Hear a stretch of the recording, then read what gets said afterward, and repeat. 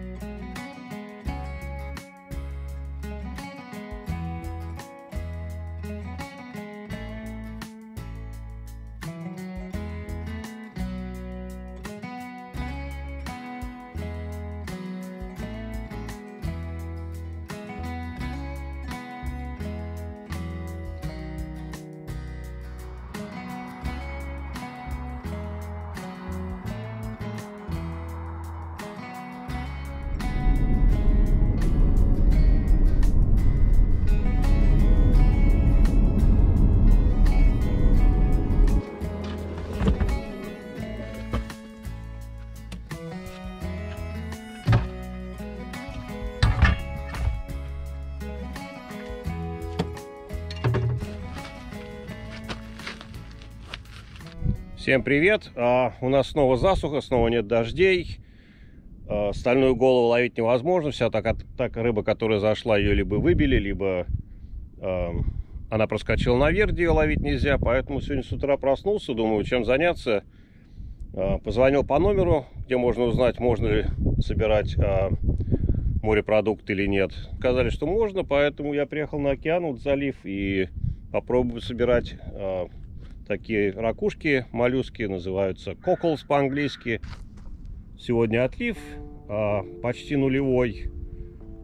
И вот видите, весь этот песок, вся эта земля свободна от воды, поэтому здесь можно попробовать пособирать будет.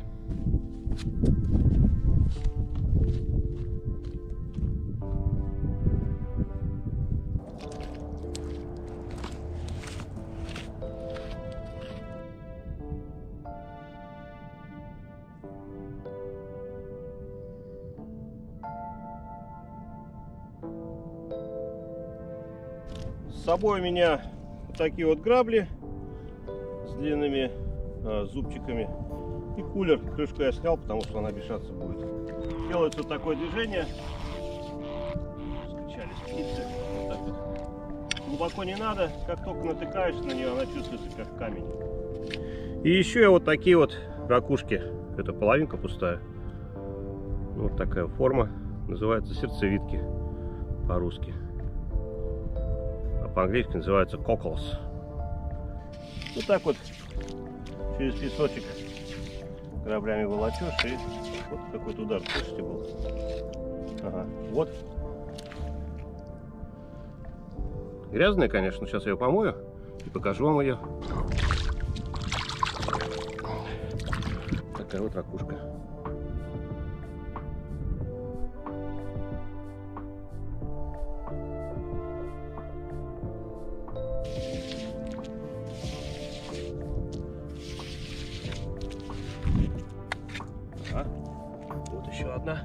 Это даже покрупнее, чем первая. Какая красавица. Вот таких вот. Брать можно 20 штук в день на человека. Лицензия стоит 10 долларов в год. Календарный, если ты резидент штата. Если не резидент, то 17. В штате Вашингтон, по-моему, чуть-чуть подороже. Я уже не помню, какие там цены. Но, тем не менее, вот уже вторая. Вот видите, какие.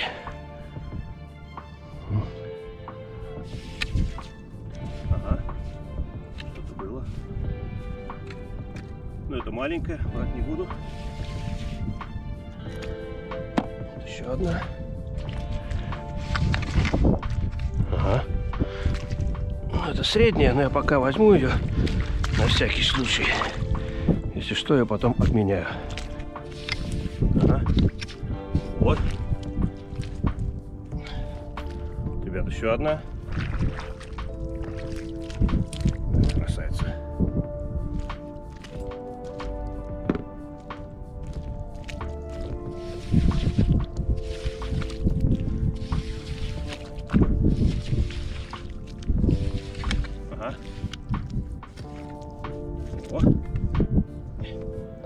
Еще одна среднего размера.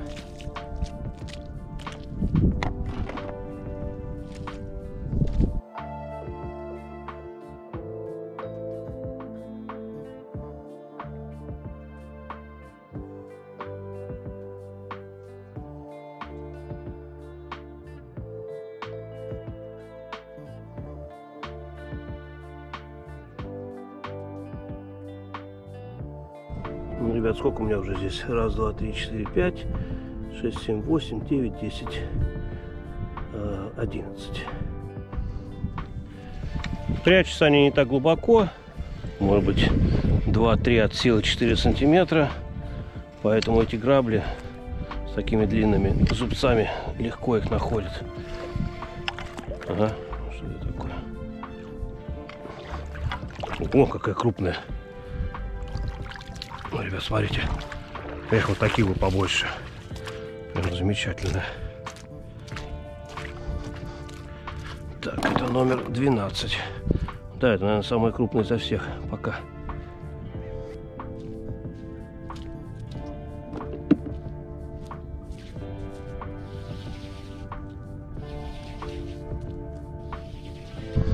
Как-то они пучками живут. То нет-нет, а то сразу несколько штук находится.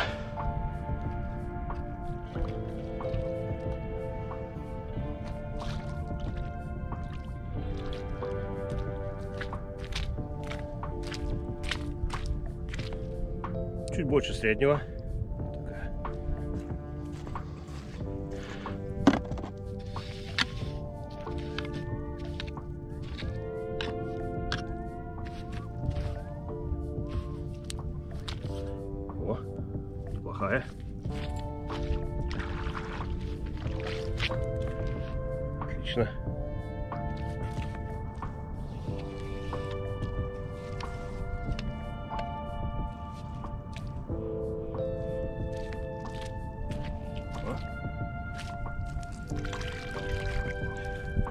Тоже хороший размер.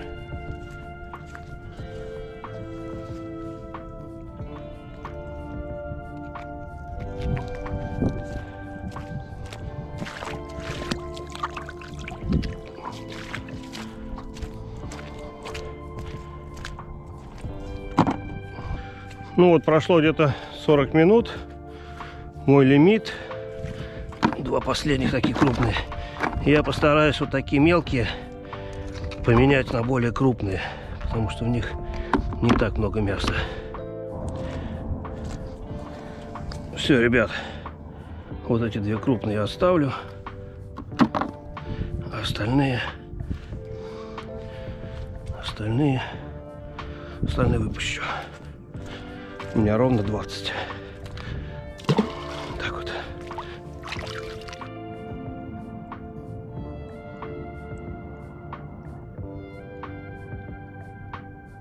Так, ну давайте наберем воды. Пускай они побудут в воде.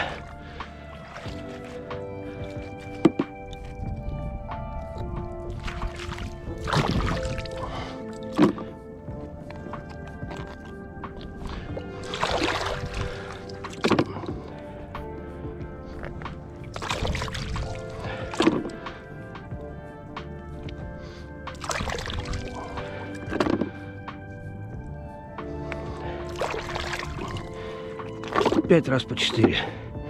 20.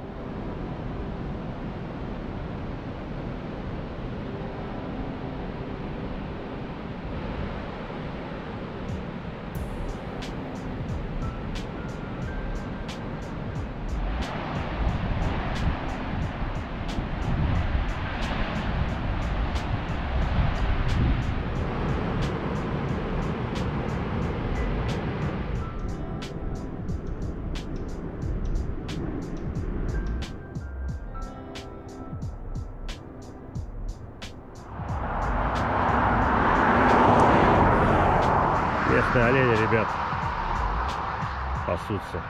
Плохо, наверное, будет видно против света, но тем не менее вот гуляют у кого-то рядом с домом. Пожалуйста.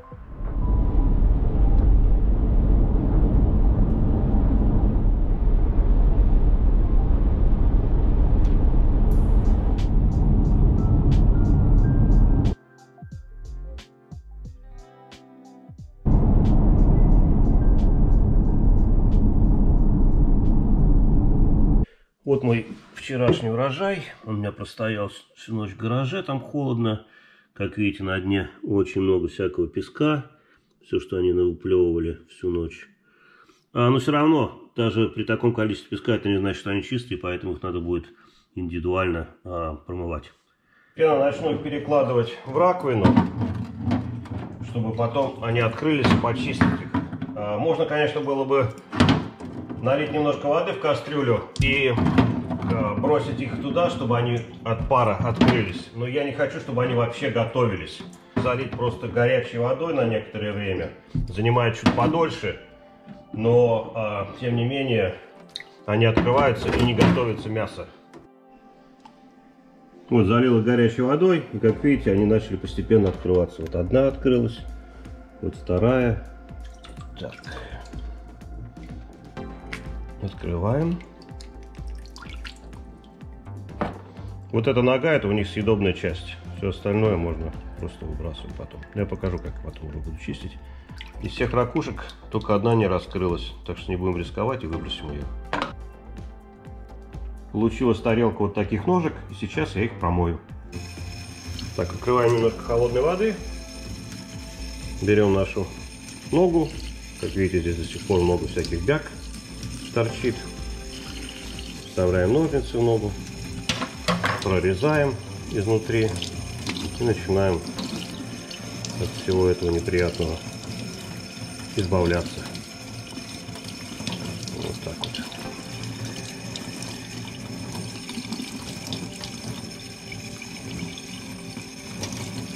Довольно-таки легко чистится. То есть.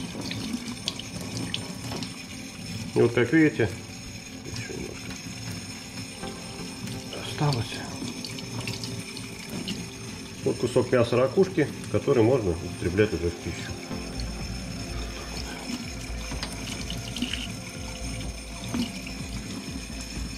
Вот. Чистенькое мясо. Вот наше почищенное мясо. А сейчас самые крупные я разрежу вдоль пополам.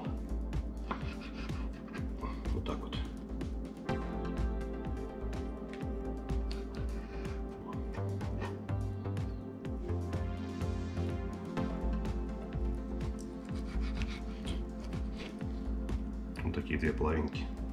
И сегодня я хочу их зажарить просто в масле, в растительном и в мучном кляре.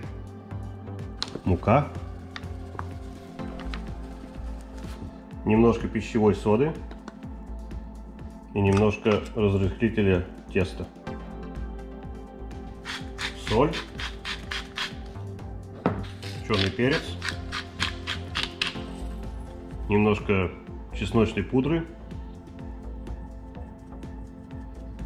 лайм и чили для остроты. Все это перемешаем как следует. Теперь сюда бросаем наше мясо как следует. Все это перемешиваем, чтобы каждый кусочек был облеплен мукой. Перекладываем в другую тарелку.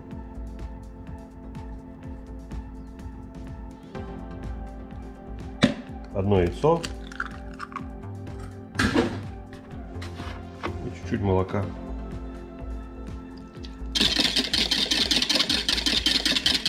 Переливаем в миску пошире и начинаем обволакивать наши кусочки яичной смеси. И снова погружаем это все в муку.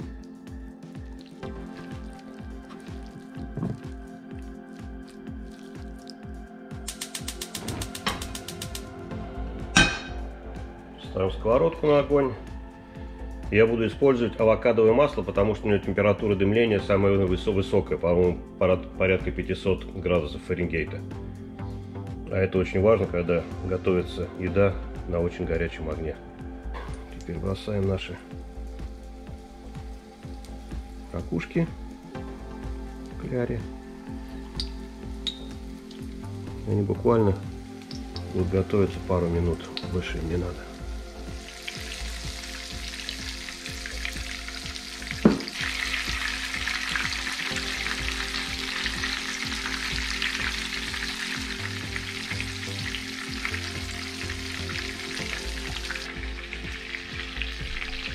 Кусочки готовы. Ну что ж, ребят, давайте продегустируем.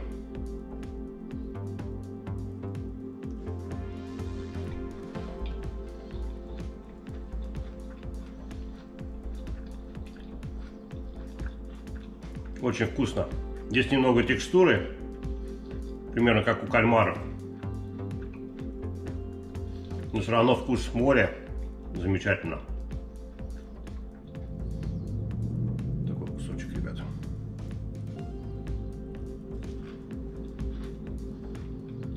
Ладно, друзья, а, буду заканчивать. Спасибо за просмотр, всего хорошего.